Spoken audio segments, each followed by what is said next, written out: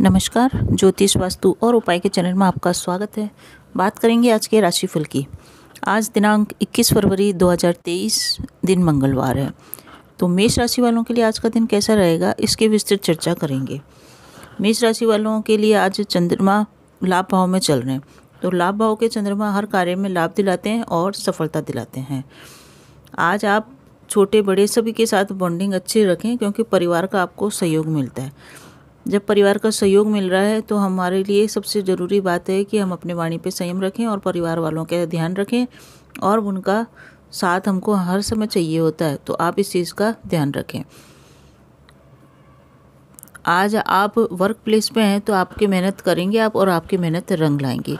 सामाजिक रूप से भी आज आप एक्टिव रहेंगे और परिवार में आप की बॉन्डिंग तो मज़बूत होगी साथ साथ आप परिवार की सुख सुविधाओं का भी ध्यान रखेंगे और सुख सुविधाओं से संबंधित आप वहाँ पे खर्चा भी कर सकते हैं। कोर्ट कचहरी का मामला है तो कोर्ट कचहरी के मामले में मामले में आपको विजय मिलेगी और आपके पक्ष में ही ये मामला सुलटेगा। परिवार का सपोर्ट है और साथ ही साथ आप परिवार के साथ आज पूरा दिन अच्छी तरह से व्यतीत करेंगे और बहुत ही खुशनुमा माहौल आज परिवार में रहेगा। चंद्रमा जब भी लाभ भाव में रहता है तो व्यक्ति में ऊर्जा बहुत अच्छी होती है, क्योंकि उसको हर कार्य में सफलता मिलती है और व्यापार में लाभ मिलता है। यानी कि एक तरह से देखें तो आज धन लाभ की स्थिति है, धन का आगमन आपके पास हो रहा है।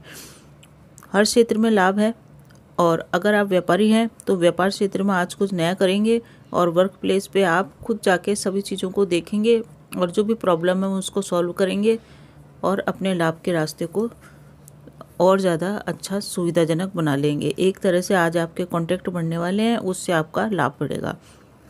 आज आपको नौकरी पेशा है तो वर्क प्लेस पर कोई नई ज़िम्मेदारी मिल सकती है और अगर आप व्यापारी हैं तो वर्क प्लेस पर आप स्वयं जाके कार्य का निपटारा करेंगे और अपने कार्य को अच्छी तरह से अंजाम देके लाभ के रास्ते खोलेंगे। पूरा हर जगह जहाँ भी रहेंगे, माहौल बहुत ही सकारात्मक रहेगा और आप आज आपके अधिकार क्षेत्र में भी वृद्धि हो रही है। चाहे आप घर में रहें चाहे ऑफ़िस में रहें या आप कहीं कहीं भी रहें, सोसाइटी में रहें, आपको आज अधिकार मिल रहे हैं और आप उन अधिकारों का यूज़ कर रहे हैं और आप बहुत ही सकारात्मक रूप से, पॉजिटिव रूप से आत्म आत्मविश्वास से आज भरे हुए हैं। आज आप पूरे दिन योजना पर ढंग से कार्य करेंगे। एक एक कार्य को लेंगे और उनकी योजना बना के आप आगे बढ़ते हुए चले जाएँगे। इससे आप व्यापार में भी मुनाफा कमा लेंगे। व्यापार में आप इस तरह की योजनाओं को आज स्टार्ट करेंगे कि आपके लाभ बढ़ते हुए नज़र आएँगे। आज आप कुछ ऐसा करेंगे कि जो अगर आप व्यापार में हो, चाहे नौकरी में हो, किसी में भी हो, आज आप कुछ ऐसा करेंगे कि आपके आसपास वाले लोग आपको ऑटोमेटिक ही सपोर्ट करने लग जाएँगे। इतना बढ़िया आज आपका और रहेगा और आपकी कार्यशैली रहेगी। तो जब आदमी सफल होता है, उसके कार्यशैली अच्छी होती है, परिवार का सपोर्ट होता है तो अपने आप ही सब चीज़ें अच्छी चली, अच्छी होती चली जाती है। प्रेम की बात करें तो प्रेमी जीवन में आपके थोड़ा सा कन्फ्यूज़न की स्थिति है।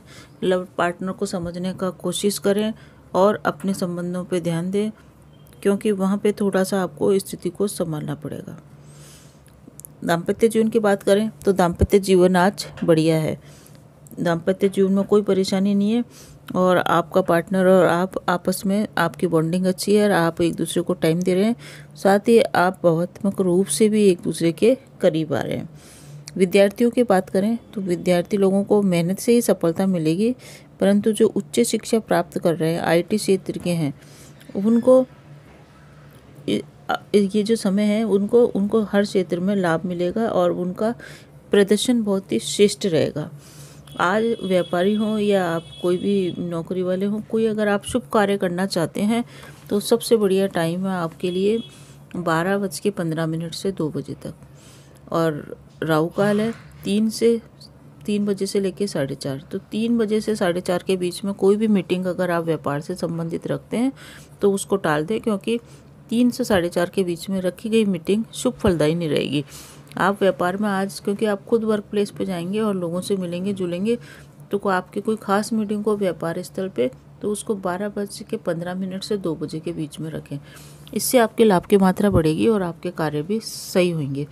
आज शतभिषा नक्षत्र के बाद पूर्व भाद्रपद नक्षत्र है और ये सब पंचंग के नक्षत्र तो आज पंचक के अंदर कई कई कार्य नहीं करते हैं तो उनका ध्यान रखें, आज पलंग को खरीदना भी सही नहीं रहता है। तो आज पलंग न खरीदें, छत भी डलवाना सही नहीं रहता। है तो इन चीज़ों का ध्यान रखें। आज का उपाय की बात करें तो आज आप अपने केसर का तिलक अपने उस पर लगाएँ, मस्तक पे।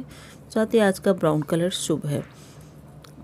आज एक और काम करिए आप। आज भगवान गणपति की आराधना अवश्य करें। इससे आपके लाभ के मार्ग में आ रही रुकावटें दूर होगी।